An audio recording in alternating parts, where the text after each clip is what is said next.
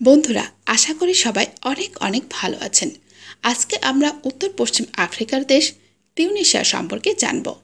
তিউনিশিয়ার সরকারি নাম Republic of Tunisia উত্তর পশ্চিম আফ্রিকার একটি সার্বভৌম দেশ এটি। এর পশ্চিম ও দক্ষিণ পশ্চিমে আলজেরিয়া, দক্ষিণ পূর্বে লিবিয়া এবং উত্তর ও উত্তর পূর্বে ভূমধ্য সাগর অবস্থিত। মাউন্ট অ্যাটলাসের পূর্ব পাশে দেশটির অবস্থান।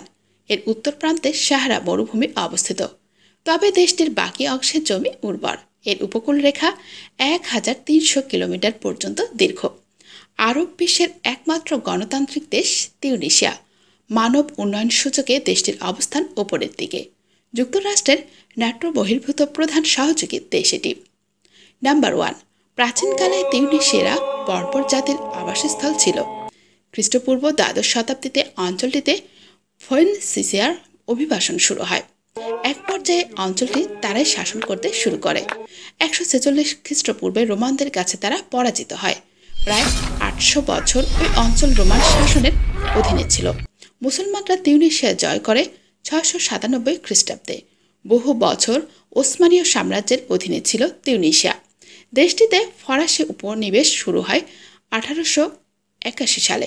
এরপর তিউনেশিয়া স্বাধীনতা লাভ করে উনিশশো ছাপ্পান্ন সালে। নাম্বার টু, এক লাখ তেষট্টি হাজার ছশো দশ বর্গ কিলোমিটার আয়তনের এই দেশটিতে প্রায় এক কোটি পনেরো লাখ মানুষের বসবাস। আয়তনের দিক দিয়ে এটি বিশ্বের একানব্বইতম এবং জনসংখ্যার দিক দিয়ে বিশ্বের উনআশিতম বৃহত্তম দেশ। নাম্বার থ্রি, দেশটির সরকারি ভাষা তিউনেশিয়ান আরবি, তবে দেশটিতে বারবার এবং ফ্রেঞ্চ ভাষাও প্রচলিত আছে। নাম্বার ফোর, দেশটির মোট জনসংখ্যার প্রায় আটানব্বই শতাংশ মানুষ ইসলাম ধর্মে বিশ্বাসী। নাম্বার ফাইভ তিউনিস দেশটির রাজধানী এবং বৃহত্তম শহর। বৃহত্তম তিউনিস নগর এলাকাতে প্রায় সাতাশ লক্ষ লোক বাস করেন।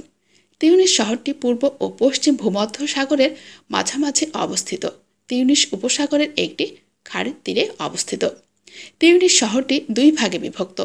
শহরের কেন্দ্রের প্রাচীন, প্রাচীর বেষ্টিত মুসলমান অধ্যুষিত এলাকাটির নাম তিউনিসের মদিনা।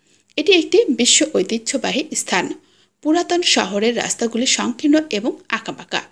এখানে অনেক পণ্যদ্রব্যে পূর্ণ বাজার ও জমকালো মসজিদ আছে।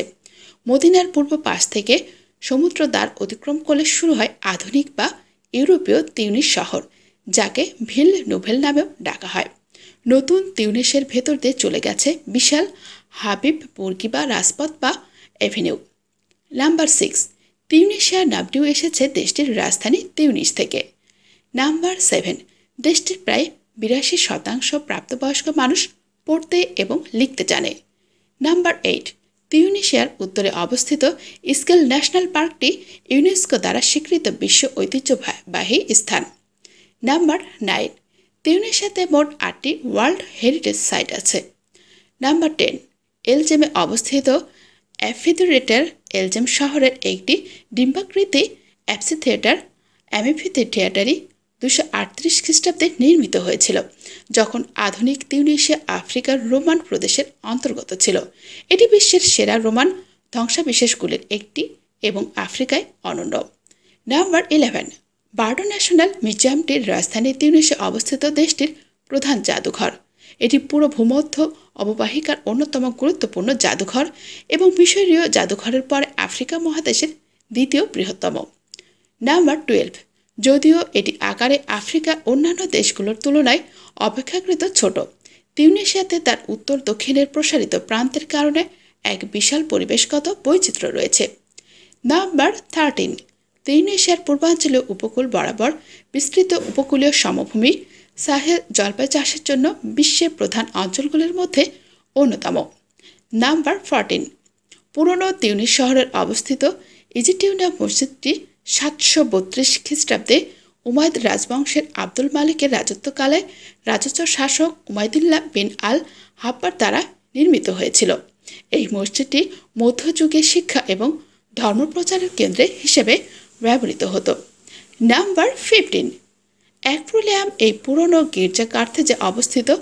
এর আসল নাম সেন্ট লুই ক্যাথলিট এটি উত্তর আফ্রিকার বৃহত্তম গির্জা। বর্তমানে এই গির্জা মূলত গ্রীষ্মে পর্যটক আকর্ষণের পাশাপাশি কনসার্ট হল হিসেবে ব্যবহৃত হচ্ছে। আজ এই পর্যন্তই। আবারও আসব অদ্ভুত কোনো রহস্য নিয়ে।